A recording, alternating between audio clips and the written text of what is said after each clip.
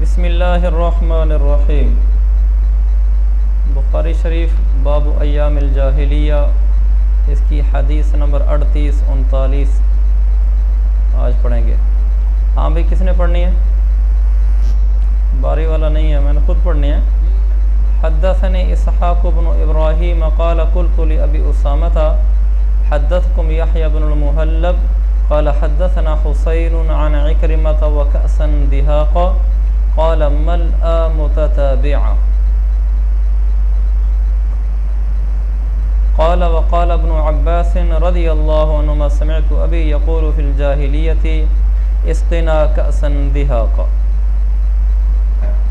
पता नहीं मुझसे इतना हदीस में कोई मज़ा है। मैंने अभी हदीस पढ़ी सनद के साथ। मुझे इतना मज़ा आ रहा था पढ़ते हुए, जैसे मैं कोई बहुत बड़ी दौलत आज हासिल किए बैठा हूँ। आदमी वज़ी अजम हाउस में पहुँच जाता ना भाई किसी तकरीब में शिरकत करे तो एक महसूस हो रहा था, आज मैं थोड़ा सा कोई मुनफरद हो। मुझे ऐसे पढ़ने में मज़ा आ रहा था कि अल्लाह ताला ने हमें हदीस के साथ जोड़ा मुझसे लाखों करोड़ों रुपये मिलने से बेहतर ये। बेहतर ये, बेहतर है इन हम ये लाइन नहीं छोड़ेंगे, अल्लाह से मदद के तलबगार इसहाक बिन इब्राहीम ने मुझे हदीस बयान की। वो कहते हैं, मैंने अबू उसामा से कहा हदसकुम याहबनमहलब ये बात काफ़ी काबिल गौर है। यानी एक नई बात है आपके लिए। और मेरे लिए भी बुखार शरीफ पहली दफ़ा पढ़ाते हुए नई थी। इसको हल करने में मुझे काफ़ी वक्त लगा था कि इसहाक बिन इब्राहिम, मसलन इमाम बुखारी कह रहे हैं, मुझे इसहाक बिन इब्राहिम ने हदीस बयान की। इसहाक बिन इब्राहिम कहते हैं कि मैंने अबू उसामा से कहा, तुम्हें याहिया बिन मुहल्लब ने हदीस बयान की काला कफ़ल फिर याहिया बिन मुहल्लब है। याहिया बिन मुहल्लब ने कहा कि हमें हुसैन ने इक्रमा से रिवायत बयान की। सनद का ये तर्स तो आपने कहीं भी नहीं देखा होगा ना, इस तरह सनद चलती है। या काला से हो, या हदसना से होती है, या अम्बाना से, या आन से, या अखबाराना से। ऐसे नहीं होती जैसे यहाँ के इमाम बुखारी कहते हैं, मुझे साग बिन इब्राहीम ने कहा। और वो कहते हैं कि मैंने अबू उसामा से कहा, तुम्हें यह बिन मुल्लम ने हदीस बयान की? फिर यह बिन मुल्लम ने कहा कि हमें हुसैन ने हदीस बयान की। इस तरह की ये एक असलाही लफ्ज़ है जो दरमियान में आया आए हदसकुम हदसा ना तो पढ़ते रहते हैं हदसकुम नहीं पढ़ा कभी। ये एक असलाही लफ्ज़ है जो इल्म हदीस से ताल्लुक़ रखता है। वरना इसका तर्जमा तो हमें आता है कि उन्होंने हाँ इसहाक बिन इब्राहिम कहते हैं, मैंने अबू उसामा से कहा कि तुम्हें यह बिन मुल्लम ने हदीस बयान की तो तर्जमा तो ऐसा मुश्किल नहीं है। लेकिन ऐसा सीगा क्यों ले? और इल्म हदीस में जब हद हदसना कहा जाता है, क्या मतलब होता है? जब हद हदसकुम कहा जाता है, क्या मतलब होता है? इसलिए लफ्ज़ है। तो हर फ़न की, हर इल्म की मैंने पहले भी अर्ज़ किया था अलग अलग लगात होती हैं। कुरान की अलग एक तो ये कमोसल वहीद है ना हमारे यहाँ, ये तो जनरल है ना। इसमें तो सब कुछ होगा। कुरान भी, हदीस भी फ़िका भी और नावल भी, जायज़ नावल भी, नाजायज़ नावल भी, यानी उसके मतलब जो भी अरबी का लफ्ज़ आम तौर पर इस्तेमाल होता है वो लिख देंगे। और यकीनन जब ये एक तमाम फ़नून के अल्फाज लेती है तो बहुत मख्सर लगत होगी। हदीस के सारे अल्फाज उसमें नहीं आ सकते। कुरान के नहीं आ सकते, फिर जितने जदीद अरबी चालीस के नहीं आ सकते मुहदसिन के नहीं आ सकते असलाहत फ़िकिया नहीं आ सकती। असलाहत बलागिया नहीं आ सकती। ये तो बहुत सारी चीज़ें रह जाएँगी। इसलिए फिर ने हर फ़न पर अलग हदीसें ले, अलग लगात लिखी। लगातुल्कुरान पर अलग हैं। उर्दू में हमारी लगातुल्कुरान है, मौलाना अब्दुलरशीद नमानी साहब की। और अरबी में मुफरदातुल्कुरान है, रागब असफ़ाहानी की। और इसके अलावा और भी बहुत सारी हैं जो इसमें इस्तेमाल होती हैं लगत में। एराबुल्कुरान के नाम से जितनी किताबें हैं, उनमें एराब भी बयान करते हैं और लगत भी बयान करते हैं। और हदीस में मैंने बताया था जो हदीस का मुश्किल लफ्ज़ हो, उसमें गरीब का लफ्ज़ इस्तेमाल करते हैं। गरीबुलहदीस है इब्न सल्लाम की गरीबुलहदीस है इब्न ख़ताबी की गरीबुलहदीस है इब्न जोज़ी की। तो गरीबुलहदीस की कई हैं। फिर एक वो हैं जो गरीबुलहदीस की नहीं है। हदीस का अल्लाह आसान लफ्ज़ हो मुश्किल हो हदीस में वो लिखते हैं। उसमें दो लगात सबसे ज़्यादा मोतबर हैं। नंबर एक अनहाया फ़ी गरीबुलहदीस वलसर इबन असीर की। पहले बताया था आपको। दूसरा, मजमा बहार अनवार। अलामा ताहिर पटनी की। तो ये ज़्यादा मरूफ हैं। अब मैं आपको एक नई लगत अर्ज़ करना चाह रहा हूँ कि जो मुस्तलहात हैं, इनकी भी अलग लगत होती हैं। फ़िका की असलाहत पर अलग लगत हैं। फ़िलमस्तलहत फ़िलमस्तलहात ये ये उनवान है अलमसलहतफ़िया हमारी हनफिया की भी अलग हैं और दूसरों की भी हैं। और इसी तरह बलागत की अलग से हैं। आ, मेरे पास आजकल चूँकि मैं बलागत का मताल कर रहा हूँ तो उसमें भी क्या है अलमजमुलमफसल और आगे पता नहीं उसका पूरा नाम क्या है फिल बलागत ही या इस तरह कोई नाम। बलागत पर अलग हैं जो बलागत की असलाहत हैं इस्तारा तमसीली आ गया तो ये क्या होता है? इस तरह की जो चीज़ें वो अलग हैं। तो जो हदीस की असलाहत हैं इसकी भी अलग हैं। फिर हदीस एक बहुत बड़ा फ़न है तो उन्होंने हदीस की लगात तो मतनव हैं। यानी एक अब मैं आपको वो हदीस से मुतल लगात गिनवा रहा हूँ। एक लगत तो वो है हदीस की जो हदीस के हर किस्मी अल्फाज को शामिल है, आसान है, मुश्किल है, जो है। उसमें दो बुनियादी लगात हैं अनहाया और दूसरी मजमा बहर अनवर। ये दो हो गई। एक वो हैं जो हदीस के मुश्किल अल्फाज पर हैं। जैसे गरीबुलहदीस इबन ख़त्ताबी की गरीबुलहदीस इबन सल्लाम की। गरीबुलहदीस इबन जौज़ी की। तो इस तरह गरीब हदीस पर हैं। अब एक है मुस्तलहातुलमहदसिन या मुस्तलहातुलहदीस इसमें मरूफ लगत है मजम मुस्तलहातमहदसिन मजम मुस्तलहातमहदसिन कई जल्दों में है। लेकिन इसका जो असल नाम है ये उसका असल नाम है। लेकिन मशहूर है वो लिसानमहदसिन के नाम से। लिसानमहदसिन के नाम से मरूफ है। इन एक ही किताब के दो नाम मरूफ हो गए। लिसानमहदसिन और मजम मुस्तलहातमहदसिन एक ही किताब के दो नाम। मरूफ लिसान के नाम से है। लिसानमहदसिन क्योंकि वो बड़ी मुफसल है। उसमें जितनी असलाहत हैं तो उनको जमा किया है। अब ये तीन मैंने आपको किसमें बता दिए हैं? नंबर एक, हदीस के मुमी अल्फाज नंबर दो, हदीस के मुश्किल अल्फाज नंबर तीन, हदीस की मुस्तलहात नंबर चार मुहदसिन के रमूस। मुहदसिन रम्ज़ इस्तेमाल करते हैं। रम्ज़ का माना अलामत। मसला बात को मुहदसिन लिखते हैं, किताब का, जैसे कनजुलमाल है। कनजुलमाल अली मुतकी अलहिंदी रहमल्ला की है। उन्होंने हदीस की मुख्तलिफ़ किताबों से हदीसें जमा कर करके एक जगह जमा कर दी हैं। अब जब वो कोई हदीस लिखते हैं अगर ये बताने के लिए हदीस की कौन सी किताब में है तो रम्ज़ इस्तेमाल कर देते हैं। किसी के लिए, किसी किताब के लिए कोई हर्फ, किसी के लिए कोई। और बाद रमूज वो हैं जो तकरीबन सब में एक जगह चलती हैं। मसल काफ है, ये अमूमन इबन माजा के लिए चलता है रम्स काफ से इबन माजा कजवीनी। और ऐसे ही बुखारी है, इसके लिए आमतौर पर बा खा चलता है, बख। तो हर एक ही अलग मुस्लिम के लिए मीम चलता है। तो मुख्तलिफ़ रमूज, मुख्तलिफ़ मुहदसिन अपनी किताबों में हदीस लिखते वक्त आगे उस हदीस का हवाला देने के लिए मुख्तलिफ़ अलामत ज़िक्र करते हैं। भी हर जगह एक किताब का बार बार नाम आ रहा है। मसल कानसलमाल वाले की बहुत सारी किताबें सियासत से हैं। अब जब भी वो इबन माजा से हदीस नकल करे और आगे इबन माजा लिखे तो मुश्किल है तो उसका रम्ज़ लिख देगा। लेकिन रम्ज़ तो चूँकि कोई इल्म नहीं है बाई माना इल्म नहीं है कि आदमी एक अपनी किताब में रम्ज़ इस्तेमाल करे, दूसरा आदमी खुद ब खुद ही पहचान ले कैसा इसने इस रम्ज़ से ये मुराद लिया है। ये कोई ऐसी चीज़ तो है नहीं। हर आदमी अपनी मर्ज़ी से रम्ज़ मुतन करता है कि मैं इसके लिए फ़लाँ अलामत, रम्ज़ माना अलामत, इसके लिए फ़लाँ अलामत इस्तेमाल करूँगा। लिहाजा मुकदमे में बयान करना ज़रूरी होता है। अगरचे हर मुद्दे पर, हर मुसनफ़ पर लाजिम है कि अपने मुकदमे में रमूज़ की वजाहत करे, लाजिम है। फिर भी कुछ रमूज़ आम हो जाती हैं, वो वही चलती हैं। इसी तरह बाद मुहदसिन हदीस सही बयान करने के लिए सिर्फ़ रम्ज़ इस्तेमाल कर देते हैं, स्वाद लिख देते हैं। इसका मतलब ये होता है कि हदीस सही है। अलगर्द एक मुस्तकिल बाब है रमूज़ुलमहदसिन जैसे हदसना है। आप देखोगे सना लिख देते हैं, ये सना रम्ज़ है। सना अलामत है हद सना की। अम्बा अना है, उसको अना लिख देते हैं। ना है तो इस तरह उनकी मुख्तलिफ़ अलामत होती हैं। तो अब रमूज़ुलमहदसिन को समझने के लिए फिर अलग लुगात लिखी गई हैं। इससे पहले मैंने बताया मुस्तलहातुलमहदसिन अब अर्ज़ कर रहा हूँ रमूज़ुलमहदसिन मुस्तलहात मैंने बताया अलग चीज़ है अतलाह किसी चीज़ की। मुस्तलाहतमदसिन में हमारी ये असलाह भी आ जाएँगी, हदीस ज़यीफ़ है, ये शाद है, ये मुल्ल है, ये भी असलाह है। और रमूज़ में जो ख़ास जैसे स्वाद है, कौफ़ है, बा है, ना है, अना है, सना है, ये रम्स जो इस्तेमाल करते हैं, वो भाई सोना नहीं। ये तो नाम ले दूँगा।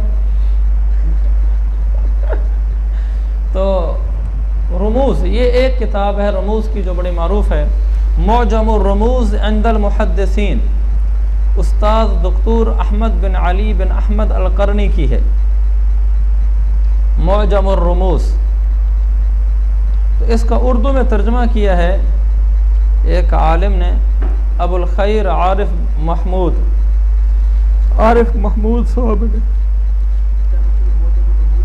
मौजम रमूज़ अंदल मुहदसिन शेख अली शेख अहमद अलकरनी की शेख अहमद अलकरनी की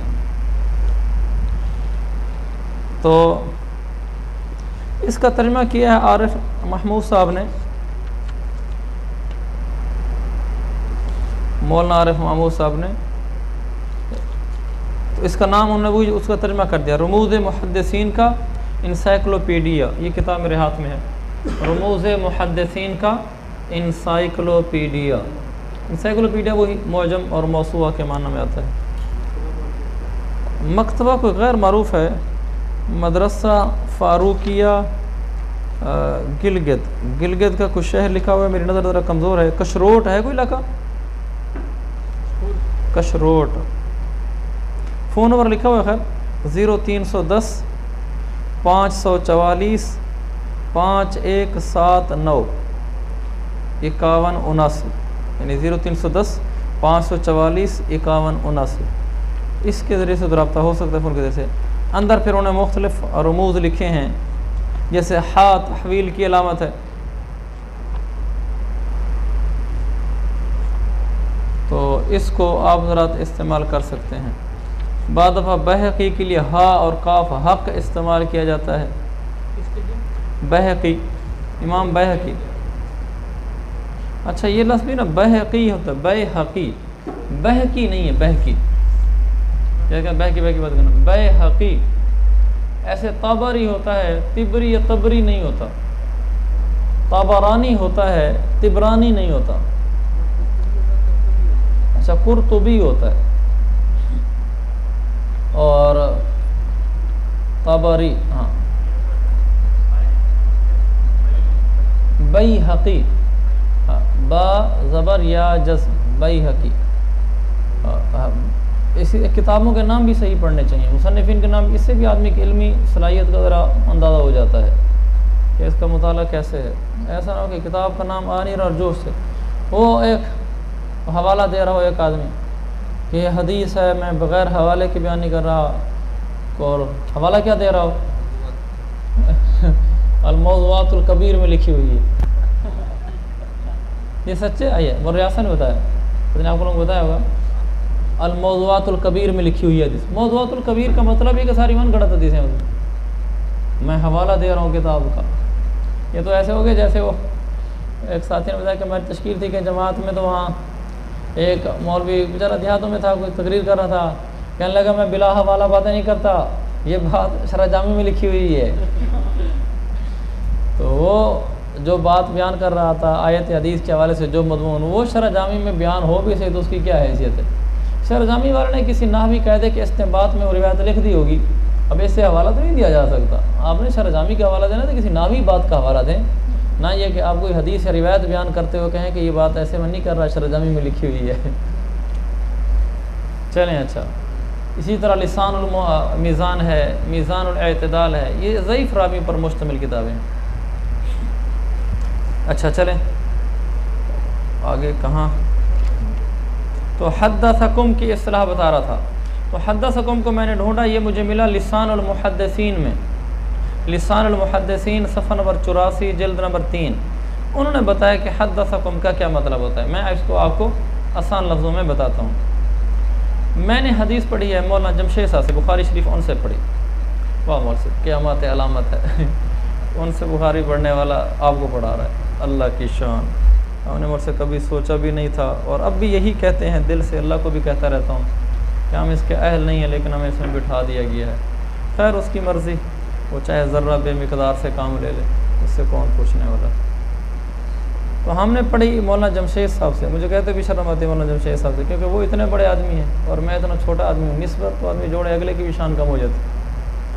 और हमने पढ़ी मौलाना जमशेद साहब से। मौलाना जमशेद साहब ने पढ़ी मौलाना हुसैन अहमद मदनी साहब से। अब होना ये चाहिए, आप मुझ निकम्मे के शगिर्द हैं।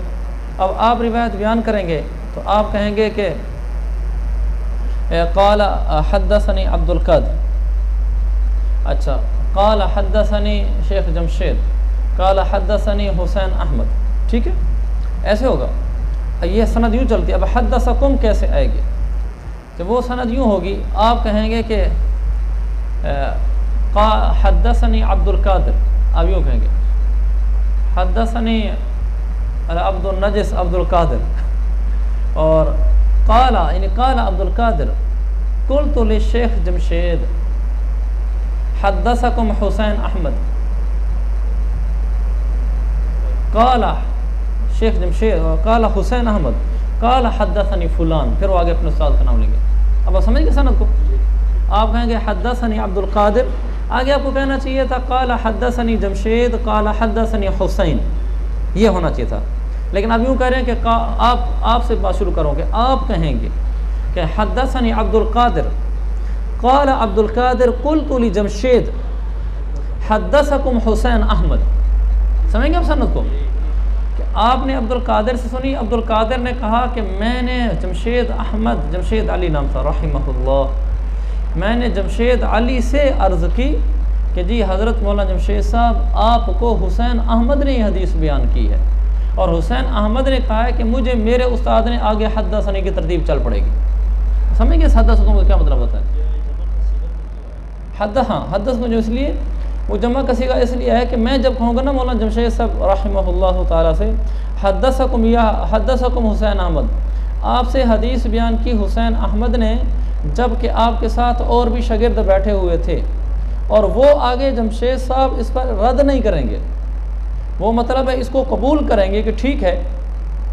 तुम जो मुझे कह रहे हो कि हद्दा साकुम, जब हुसैन अहमद, वाकई हुसैन अहमद ने हमें हदीस बयान की, मेरे साथ और भी शगिर थे और हदीस आगे चल पड़ेगी। और अगर वो ऐसा नहीं होगा तो जमशेद साहब मुझे रद्द कर देंगे कि ऐसा नहीं है। वरना जब मैं कह दूँगा हदसकुम हुसैन अहमद, और वो सुन रहे हैं, और उन्हीं की रिवायत मैं उनके सामने बयान कर रहा हूँ कि हज़रत आपकी रिवायत है, जो चाहे उनकी किताब में लिखी हुई या मैंने हुसैन अहमद से, चाहे मैंने जमशेद साहब से सुनी है, या जमशेद साहब की किताब में है। तो जब मैं ऐसे उनके सामने ये हदीस पढ़ूँगा हदसकुम हुसैन अहमद और वो सुन के खामोश रहेंगे मतलब ठीक होगा कि सनत ठीक चल रही ये तालब पूछ रहा है कि इसके लाने की ज़रूरत क्या है? ज़रूरत ये कि हदीस मुहदसिन के हसी, हदीस के अदायगी के अल्फाज, जिसको सीग अदा कहते हैं, वो मुख्तलफ रहे हैं। तो जितने मुहदसिन के यहाँ अल्फाज इस्तेमाल हुए हैं, उनके असलाह बन जाती है। वो सब फिर मुहदसिन एक जगह जमा कर दिया। तो जिस तरह आम सनद चलती है, इस तरह ये भी एक सनद है। ये भी सनद का एक तर्ज और ये वही हद्दा सना के हुक्म में होगा। यानी जो क़वत हद्दा सना की है, वही क़वत इस रिवायत की हो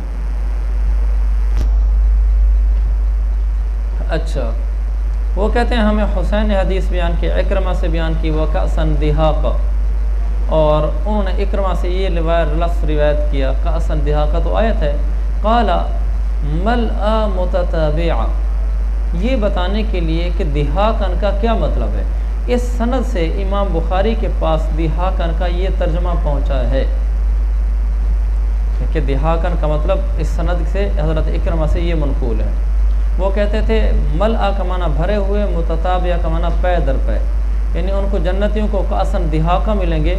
एक तो वो लबालब भरे हुए होंगे और दूसरा पै दर पै होंगे। एक गिलास आप पी लेंगे, दूसरा पीछे तैयार खड़ा होगा, जिसको लगातार कहते हैं। एक पी लेंगे, दूसरा पीछे तैयार खड़ा होगा। काला काला इक्रमत वकाल इबन अब्बास वो कहते हैं कि इबन अब्बास ने कहा समय तो अभी मैंने अपने वाले ज़र अब्बास से सुना, वो ज़माने जहलीत में ये कहा करते थे, इसके ना का संदेहा का। हमें छलकता हुआ, भरा हुआ प्याला पिला दो।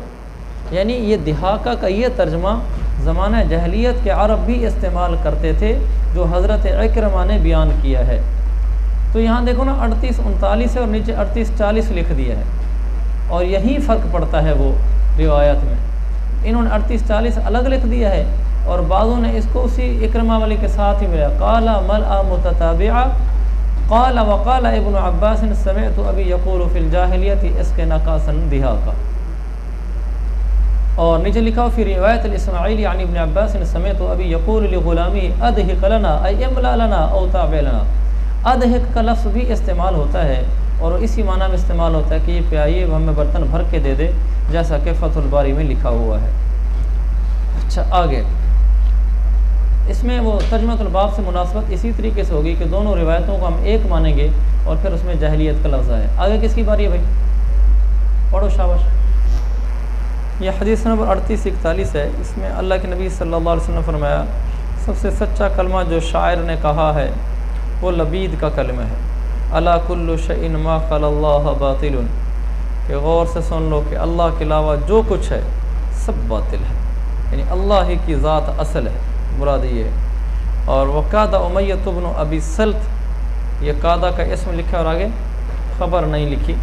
दूसरा जो नुस्खा है, उस नुस्खे में युसलिमा है कि उमैया बिन अबी सल्त इस्लाम लाने के करीब था। यानी ज़माने जहलीत में भी उसका रुख इबादत की तरफ़ था, आखरत पर भी ईमान लाता था, ज़माना इस्लाम भी पाया, लेकिन इस्लाम ला नहीं सका। अशार भी अच्छे कहता था, अला कुल्लु शइन मा खल्ला बातिल और मा खला जो है ना, ये खला, ये फ़ेल है, हर्फ नहीं है। वरना खला, हर्फ भी इस्तेमाल होता है। खला जैदिन जौम खला जैदिन। इसलिए मा खल्ला ही नहीं पढ़ेंगे। ये फ़ेल है हर्फ नहीं है। वजह ये कि दो हर्फ जमा नहीं हो सकते। पीछे माँ भी हर्फ है और खला भी हर्फ जो तो ये नहीं होगा। अब इसका तरमतलबाब से मुनासबत क्या है? इसका तरमतलबाब से मुनासबत ये अमदतुल्कारी में लिखा है कि वलीद और उमैया लबीद लबीद और उमैया दोनों ज़माना जहलीत के शायर थे। बस ये इसकी मुनासबत है। चलें आगे। हदीस नंबर अड़तीस बयालीस। हज़रत ऐशा अम्मी सिद्दीक़ा कायनात फरमाती हैं, कान अबी बकर ग़ुलाम युखरजलखराजा हज़रत अबू बकर का ग़ुलाम था, जो उनके लिए क्या तर्जमा है? अपनी कमाई लेकर आता था। खराज वो मकदार जो आका अपने ग़ुलाम पर मुकर करता है कि वो माल की मकदार ग़ुलाम कमा कर आका को दे। तो जो खर्रज हो अयती ही बिमा यकसिब हो वो अपनी कमाई उनके पास लाता था। ये जो तस्वीर मैंने की फतुलबारी में है। हज़रत अबू बकर उसकी कमाई में से खाते थे, जो वो कमा कर लाता था। जो हज़रत अबू बकर ने उन पर मुकर की थी इतनी कमा कर लेगा। उसमें से खाते थे। एक दिन वो आया कोई चीज़ लेकर। हज़रत अबू बकर ने उसमें से खाई। ग़ुलाम कहने लगा, तदरी महाजा जी आपको पता है ये क्या है? अबू बकर रदी उन्होंने फरमाया, क्या है? कहने लगा कन तो तकाहन तो इंसान फिल जाहिलियत वमा उहसिनकाना था मैंने ज़माना जहलीत में एक इंसान के लिए कहानत से काम लिया था। उसके लिए काहन बनकर मैंने काम किया था। और हालाँकि मैं उस वक्त कहानत के पेशे को इतना अच्छा जानता भी नहीं था। इल्ला अन्नी खदा तो मगर ये कि मैंने उसको धोखा दे दिया था। धोखा देकर माल कमाया था। फ़लक यानी तो आज मुझे वो मिला है तो उसने मुझे फिर ये रकम दी है। यही वो है जिसमें से आपने खा लिया है। अबू बकर रदी अल्लाह ने अपना हाथ अपना हाथ अंदर डाला, जो कुछ पेट में था, सब कुछ बाहर निकाल दिया। कैसे लोग थे? इन्होंने कह, क्यों की है? इसलिए कि काहिन की कमाई वो मन है, और जो माल धोखे के ज़रिए से हरा हासिल हो, वो भी हराम है। काहिन क्या होता है? काहिन ये होता है कि जो आदमी बाद में आने वाली ख़बरें दे गैब की ख़बरें दे बग़ैर दलील शर्ዒ के। एक तो गैब की ख़बरें मैं भी दे सकता हूँ आपको। दे सकता हूँ नहीं दे सकता? दे सकता हूँ। कि कब्र में क्या होगा। आप कब्र में जाएँगे फरिश्ते आएँगे आपको उठा कर बिठाएँगे आपसे सवाल करेंगे। ये जो बता रहा हूँ आपको उठा कर बिठाएँगे सवाल करेंगे। गैब की खबरें तो हैं। इसलिए या नबी का मना है गैब की खबरें बताने वाले। इसका तर्जमा यही या नबी गैब की खबरें बताने वाले। बस फ़र्क इतना है कि हम ये नहीं कहते कि अल्लाह के नबी सारा गायब जानते थे। हम ये जानते हैं कि कुछ गायब जानते थे, कि उतना गायब जानते थे जितना अल्लाह ने उनको बता दिया था। अल्लाह के नबी ने बहुत सारा गायब बताया। जन्नत में यूँ होगा यूँ होगा, जहन्नम में यूँ होगा यूँ होगा, ये सब गायब है। और मेरे मर मेरे दुनिया से मेरी दुनिया से तशरीफ़ ले जाने के बाद फिर आगे ये ये कुछ होगा, कुछ तो दुनिया फ़तह होगा, वगैरह होगा। ये सब गैब की खबरें। लेकिन अल्लाह के नबी का मतलब भी ये होता है कि अल्लाह की तरफ़ से गैब की खबरें देने वाला है। तो हम इस पर ईमान रखते हैं। बस फ़र्क इतना है हमारे और हमारे उन भाइयों जिनसे हमारा ये अख्तिलाफ़ है इल्म गैब का। हम कहते हैं कि अल्लाह के नबी को इल्म गैब था, लेकिन कुल्ली नहीं था, जुजवी था। और जुजवी भी वो जो अल्लाह ने ख़ुद अता फ़रमाया था। वो कहते हैं कि हजूर अलैहि वसल्लम को इल्म गैब कुल्ली था। सारा गैब मालूम था। जब कुल्ली था तो इसे तो शिरक लाजम आता है कि अल्लाह के बराबर हो गए, कि अल्लाह को भी सारे गायब का इल्म है। हजूर को भी सारे गायब का इल्म है, बराबर हो गए, शरीक हो गए। तो इसे तो कुफ्र आ जाना चाहिए था, शिरक आ जाना चाहिए था, लेकिन फिर भी हम उनके ऊपर शिरक और कुफ्र का फतवा नहीं देते। हम ये नहीं कहते कि उनकी बच्चियों से निकाह करने नाजायज़ हैं। हम ये नहीं कहते कि उसके पीछे नमाज़ पढ़ ली है तो नमाज़ दोबारा पढ़नी पड़ेगी। फतवा शामी में लिखा हुआ है, खलफ फासिन और मुबतद अगर नमाज़ इमाम कोई ना मिल रहा हो तो अकेले पढ़ने से बेहतर है। कि किसी फासिक या बिदाती के पीछे पढ़ लीजिए तो उन पर बिदात का फतवा तो है। हमारे बरेलवी भाइयों पर कुफ्र और शिरक का नहीं है। ये हमारे बाद गलूब करने वाले अहबाब हैं, जो उनको बिल्कुल ही मुशरक कह देते हैं। वो लोग मुशरक नहीं हैं। हमारे उस्ताद मौलाना सब रहमत ने हमें बताया था कि दारुल देबंद के सारे बड़े जयद शुरू ज़माना में वो बैठे थे।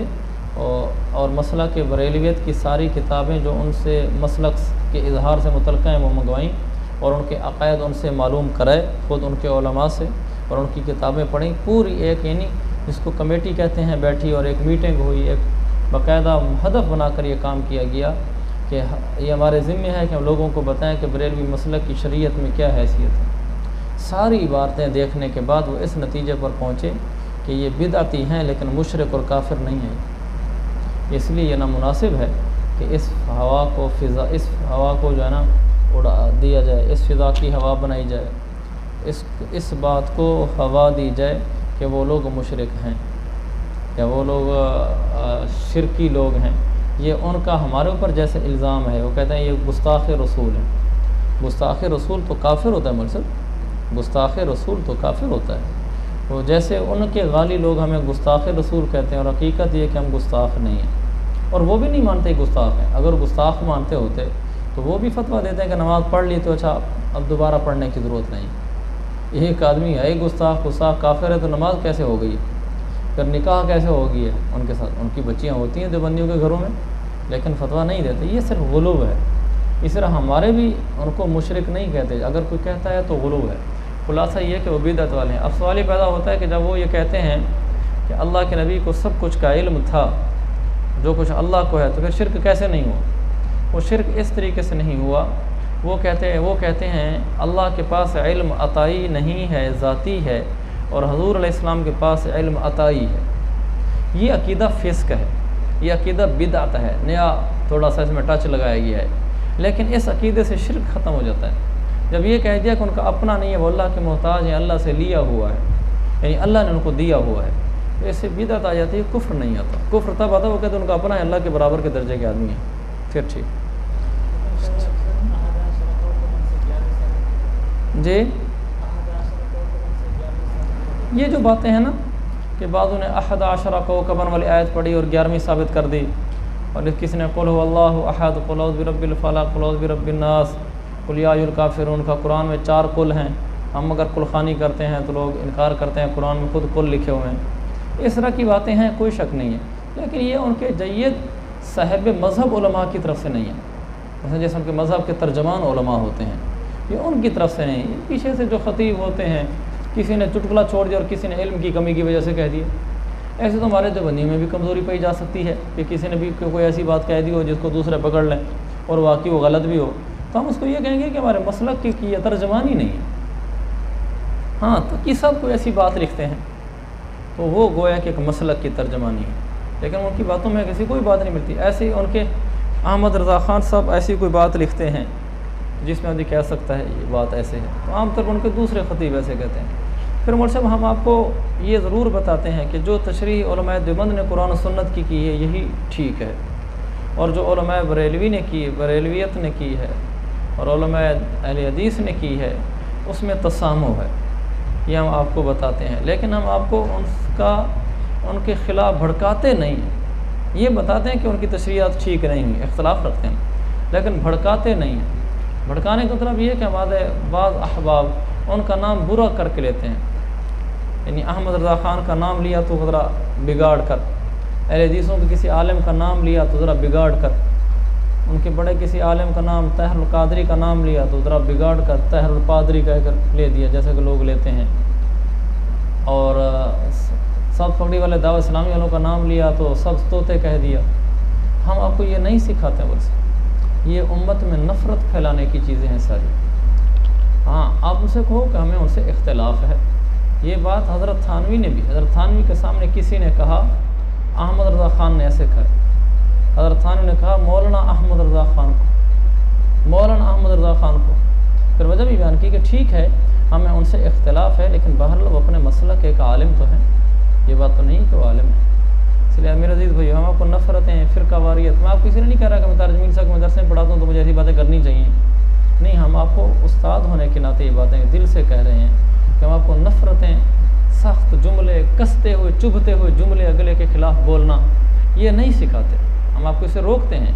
हाँ ये आपको ज़रूर बताते हैं कि उनकी तशरी और हमारी तशरी में जहाँ फ़र्क है, वहाँ अल्लाह के फजल और उसकी तोफ़ी से हम सही तशरी करते हैं और उनसे तसाम हुआ है। ये ज़रूर कहते हैं। बाकी उनके ख़िलाफ़ बातें करना, वो एक हमारा साथी कहने लगा हमारे मसल के दुबंद का कि मैंने एक अहल हदीस से कहा कि तुम्हारे और गधे में क्या फ़र्क है? दुख तो ये एक वर्ष हमारे मसल के दुबंद के ये मुनाजिर हैं और बड़े मरूफ मुनाजिर हैं और मैंने बर रास्त उनसे ये बात सुनी है, उनकी मजलिस में शरीक कहने लगे, मैंने एक जगह कहा कि अहल हदीसों में और गधे में क्या फ़र्क है? गधा दो टांगों से रफा जान करता है, एक से करता है, अहल हदीस दो से करते हैं। गधा खड़े खड़े ना कभी अगला पाँव उठाकर सर पे मारता है, मक्खी उड़ाने के लिए। इसकी तरफ़ उन्होंने इशारा करते कहा कि गधा एक हाथ से रफा जान करता है, तुम दो से कर दो, फ़र्क क्या है? जो सामने लोग बैठे थे, वहाँ से पड़े। हंस पड़े मतलब उसको दाद देते, वहाँ पड़े। वाह जी, क्या बात की आपने। और सिर्फ़ ये नफ़रत है, हम आपको ये नहीं सिखाते। इसी तरह एक हमारे जबंदी भाई ने कहा कि अहदीस की साथी को तुम्हारा नज़दीक मनी हलाल है, मैं तुम्हें मनियाँ इकट्ठी करके सारी देता हूँ। कुल्फियाँ बनो। कैसी बुरी बात है बस। इख्तलाफ अपनी जगह है, लेकिन ऐसा तो गलत है।